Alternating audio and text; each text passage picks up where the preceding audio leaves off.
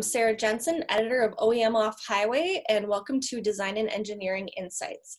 Today I am speaking with the CEO and co founders of GridRaster. Uh, thank you, gentlemen, for joining me today. I appreciate it. Thank you, Sarah, for the opportunity. Thanks, Sarah.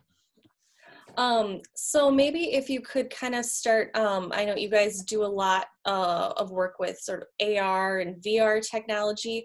Can you maybe talk about how you've seen the technology grow and its use in the manufacturing industry or helping with uh, engineers to design new equipment? What we have seen is that in last 18 months, uh, the the de- devices have started becoming much better available much better devices and uh, like uh, so we have been in the following and investing time and helping the companies for three three years now. But last 18 months what we have seen is that a lot of those pilot projects that were happening or rois have been proven. And now we are seeing real scale where number of devices that are being getting deployed are not in like tens or 20s now these are like 500 to 1000 devices. And next year there will be these will be in thousands and thousand devices uh, we are people have gone a very clear ROI on uh, uh, design like uh, and basically what we are seeing is that wherever the uh, nowadays the complex machines they are being designed in a very custom manner. It's not like they are generating building these like mil, uh, a lot like in the massive quantity. So for example a car when you're designing it uh, typically what you're doing is that you're bringing in your physical objects like how will your uh, gps unit look like how will your radio units look like. You're you're using those on a physical prototype which is made out of foam uh, cardboard foam. So these things take like three week time to put things together. You are chiseling the foam. Now with ar and vr you can do this visualization within like a couple of hours. It doesn't so you're saving a lot of time and there's a lot of pressure on uh, uh, basically uh, getting these uh, very complex machines uh, manufactured or, or released or launched on a certain date. Uh, same thing we are seeing is on an aerospace side that if these machines don't get ready on the time day that the say a spaceship is getting launched, that uh, that day another day is not there. They don't get another chance to launch it in another say three years. So a lot of work where they're trying to do this iterative design process, which takes three weeks time, four weeks time. And on top of that, also, uh, by the time you're doing this physically assembling things, your design might have changed. So uh, all of those with uh, AR and VR, it becomes like, it's, it's instantaneous. You can keep changing your design, keep iterating, and now you have suddenly cut down a lot of design time by like weeks in this process. And if you add it up for like, these things go for six, six months to, let's say two to three year design cycle, if you cut down six months, that's a huge saving for these companies because they can keep innovating more and more. Mm-hmm. And uh, in the manufacturing, again, we are seeing also that for the training, it has been really useful because people really are able to get trained on this uh, because nowadays lot and lot lot custom parts are coming so the uh, basically the manufacturing uh, pe- uh, the, the team members need to get used to get trained very fast and mixed reality is it really it's a very good learning tool uh, it's forgiven but in manufacturing it really helps that now you're uh, you're able to train people in like in weeks the people can start working doing the similar job what they used to take like say months to get trained. Manufacturing i would say that in manufacturing floor uh, there are clear use cases of error detection where error, error is very expensive Mm. What we are seeing is that it will take another one year, another year because devices are still expensive. So uh, all the big ones like uh, Microsoft, Google, uh, Apple, everyone is working. So it will come to that point where devices will you can start man, deploying it at production floor. But use cases are very clear. People have proven that error detection gives a huge benefit. Like now, earlier you have external camera, all of those setting to detect these errors. Now you have this information overlay whenever you need it. So all of those scenario, basically it is very clear use case, but we see that another one year it will start getting deployed. And the, and the last one is basically in the maintenance because nowadays manufacturers are not selling just the uh, machines, they are selling the uh, whole, uh, so they're selling the whole package that they will sell the mach- machine, but they will also sell overall the maintenance on that for like say three to five years. And um, because the information is always in context, you can now uh, you don't need a ex- expert to always there. Now you can even uh, someone who is not that much trained, they can start doing a lot of these maintenance in real time. Dijam, if you want to add something. Mm-hmm.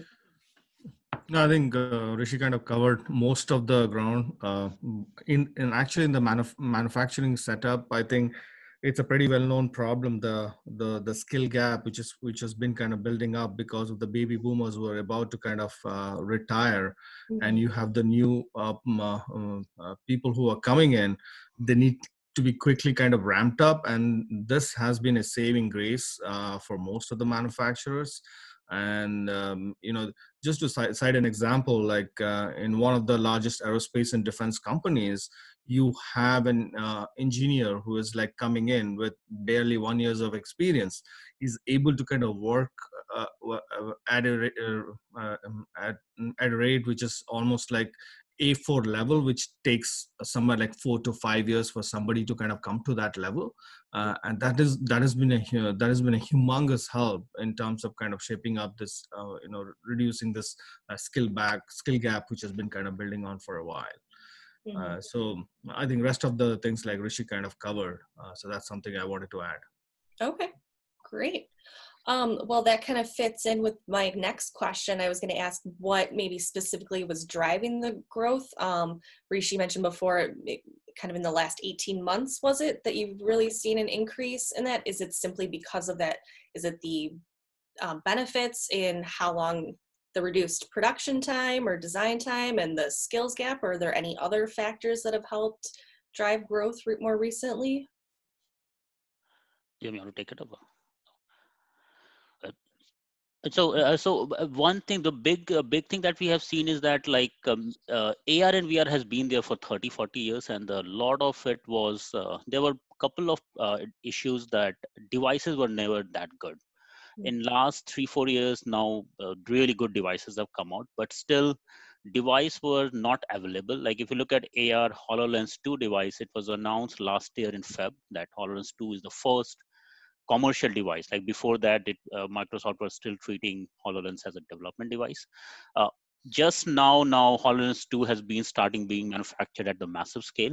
And even today, because of uh, the whole pandemic, unfortunately, the supply chain, everything is uh, um, disrupted. But this is the device now we are able to see that our customers can buy in thousands. So for on the just on the deployment front a lot of our manufacturing customers they understand ar and vr very well because earlier they will deploy these really expensive systems. So uh, which like for example in manufacturing aerospace customers will deploy a cave system which is kind of uh, that gives you a experience but it's like so expensive that you can't really deploy it like at leisure.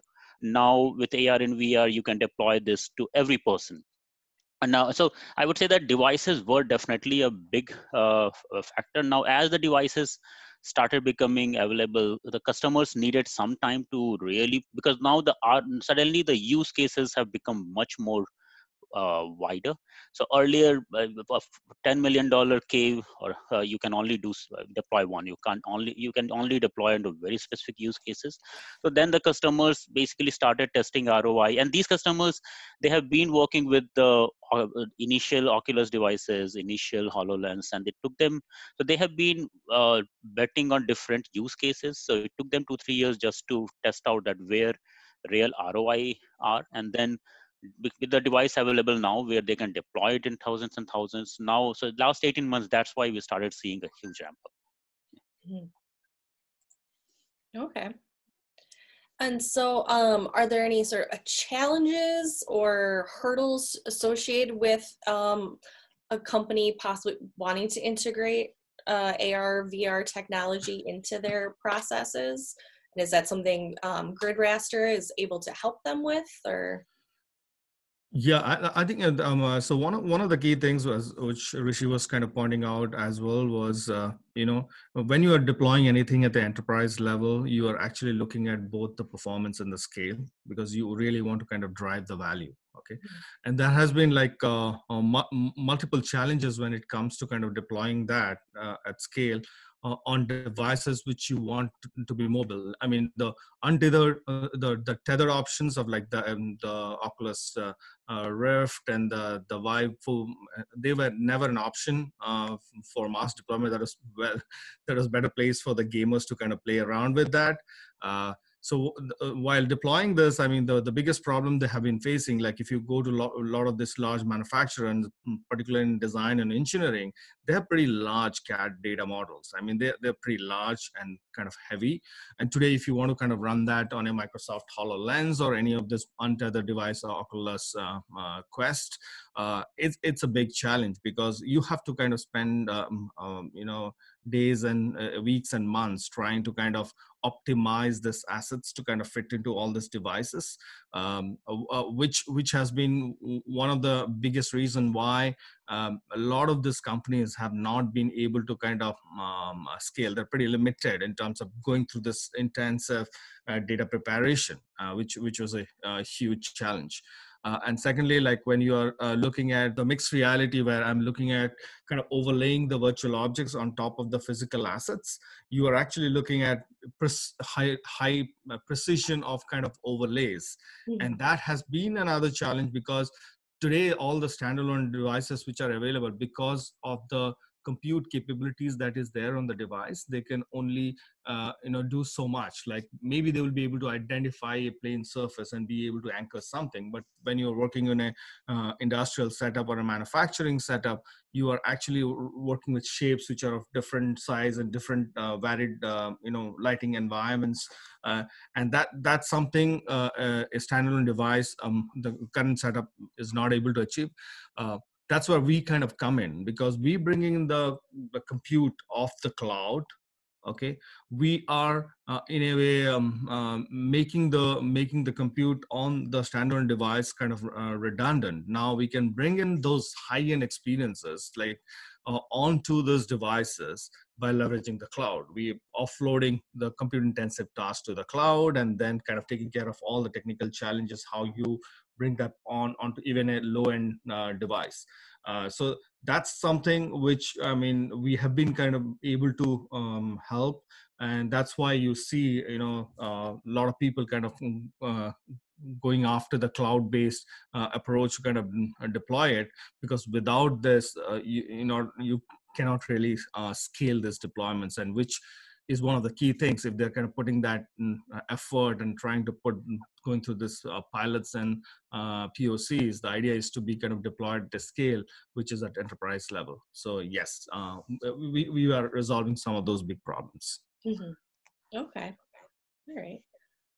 Um, and are there um, maybe specific um, with this applications or types of manufacturing or design process for which AR versus VR might be better and vice versa? Or can they kind of be used for all types of processes? Uh, uh, no, I, I think the, the, the, there, there are scenarios where VR definitely stands out over AR, and there are scenarios where AR uh, kind of stands out. Um, mm-hmm. uh, so particularly if you're looking at like creating a synthetic environment where you are looking to kind of train people, okay, and uh, there's nothing like vr because you don't really have to put them into the real setup. You can actually have that synthetic uh, uh, setup uh, prepared and somebody can go through that intensive uh, training. For example like if you want to uh, do a fire drill okay? And you want to kind of develop the muscle memory. You don't really have to kind of set things in fire right? You can actually do that do that in in vr or uh, you are trying to train them on some expensive equipments. I mean somebody can train themselves like as many times as possible in a vr environment without really uh, damaging any of that um, uh, equipment. So uh, yes i mean vr kind of stands out uh, in that scenario.